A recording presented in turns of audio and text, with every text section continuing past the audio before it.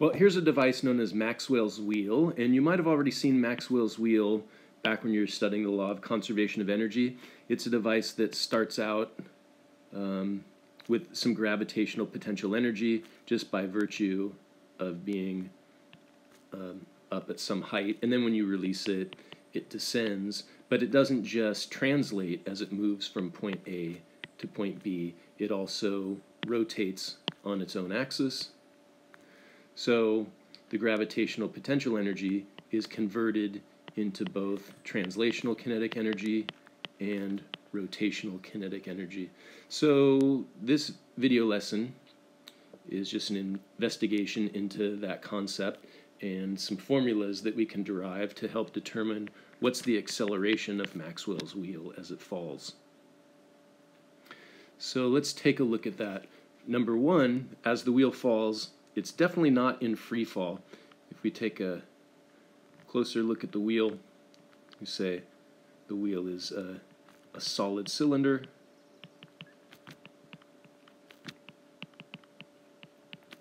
And it's a solid cylinder that's rotating about an axis that passes through its center. And then there's a string here and a string here that support it. So there's a force of gravity pulling down, but there's also tension in the string pulling up, some net amount of tension. And so free fall is the result when gravity is the one and only force that's acting, but we don't have a free body diagram with only gravity. We've got a net force that's equal to mg minus tension. So we would expect that Maxwell's wheel has an acceleration that's something less than g something less than 9.8 meters per second squared. So I want to introduce, first of all, a device that would be similar to the way that Maxwell's wheel operates, but with a slightly different configuration. So let me draw another picture to tell you more what I'm talking about. What if we had the same sort of solid disk, but instead of a small axle that the string winds around, we find a way to attach some sort of a strap to the perimeter of the wheel, and then that strap wraps around the outer perimeter a few times, and then we take this thing and drop it and let it fall. it's the same idea. It's going to translate, but it's also going to rotate as it translates. So the gravitational potential energy in the end should be converted into a combination of translational kinetic energy plus rotational kinetic energy. Or in other words, draw this again here. There's point A, and then it falls and reaches some point B.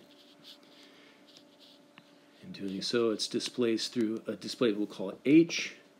Um, so the gravitational potential energy is mgh. The translational kinetic energy is 1 half mv squared, and rotational kinetic energy is 1 half i omega squared. So I'm not sure we've derived this one yet, but we'll get to it. Hopefully you've seen uh, in the previous video lessons that rotational inertia is calculated in different ways for different shaped objects. For a solid disk rotated about an axis like this passing through its center, rotational inertia can be calculated as 1 half times the mass of the object times the radius of the object squared. So that's the substitution that we'll make. step one, step two, step three, mgh equals 1 half mv squared plus 1 half of 1 half mr squared. And then we substitute in place of omega v over r. And omega gets squared. This r gets squared, so it cancels that r squared. So now we've got, in step 4, there's an m that appears in every term. Cancel, cancel, cancel. And we have gh equals 1 half v squared plus 1 fourth. 1 fourth v squared. Or in other words, we have 3 fourths v squared. Okay, and it probably has a uniform acceleration as it descends, and its initial velocity is equal to 0. So we can say v squared equals v initial squared plus 2ah. v initial is 0. Oh, so v squared is 2ah.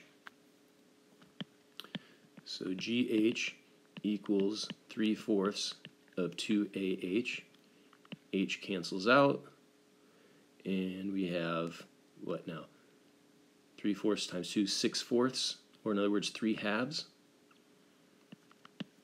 g is equal to 3 halves of a, which is another way of saying a is equal to 2 thirds of g. So it matches our prediction. We predicted the acceleration would be something less than g, and it is. It's about 67% of g. Okay, but that's not really the design of Maxwell's wheel. Maxwell's wheel has a solid disk with a radius we'll call R2, and then there's some ideally lightweight axle that has a smaller radius that we might call R1, and the string is wound around that radius. So we'll start with the same formula, but the outcome is going to be slightly different. Step one is still a statement of the law of conservation of energy, that gravitational potential energy is being converted not just into translation, but also another form of mechanical energy associated with the rotation of the object.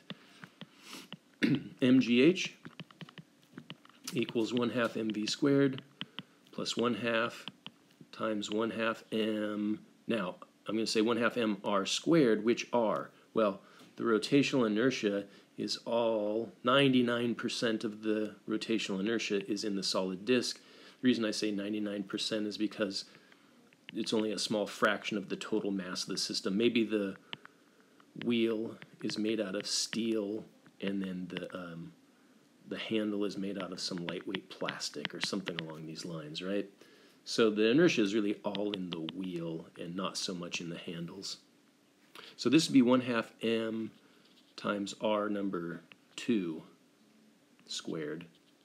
And then I know I'm going to substitute, right? I'm really trying to say 1 half i omega squared. 1 half i, and then I should put in omega, but omega is v over r.